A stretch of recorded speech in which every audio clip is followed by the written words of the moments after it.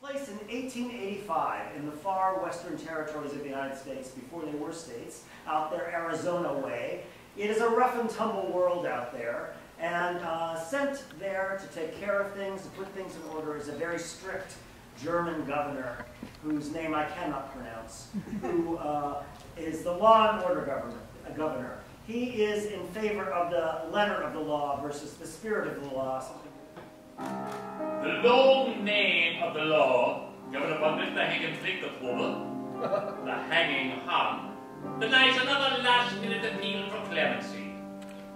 Oh, doesn't hurt me when the papers call me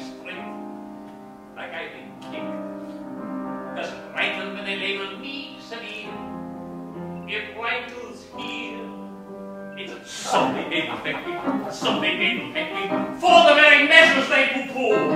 Every liberal villain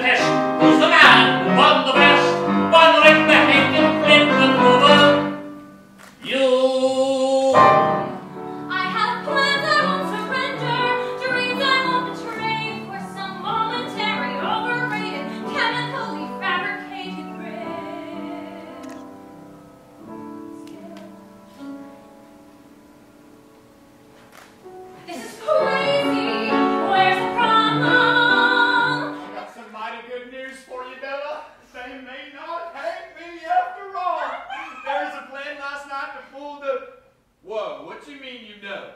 The sheriff tell you? Yes, he told me everything. Well, you must admit it's an inspired solution. I stayed with that man all night just for you. That shows that you care, all right. Yes, it do. I was good as I could be, and I did it all for free. They're gonna hang me from a tree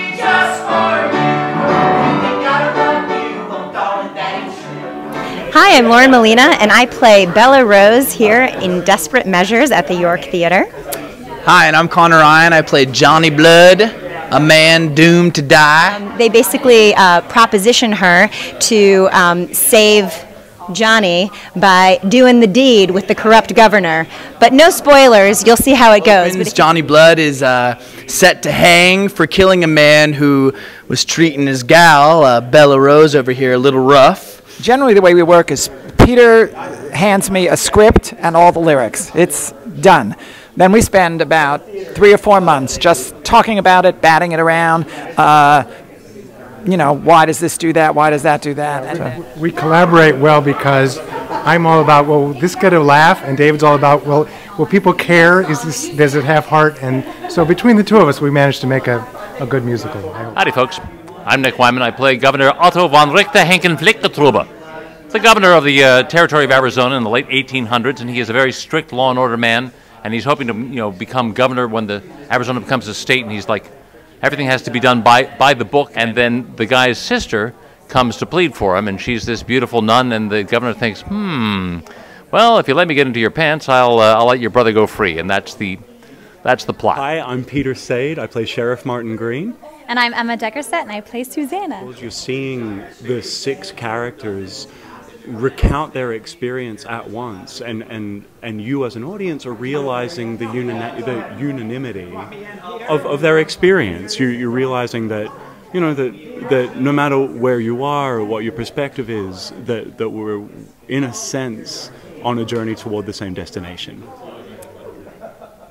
was the song that I was going to pick. Yeah, it's a I good mean, song. We did just it's a good song. It. Yeah. Um,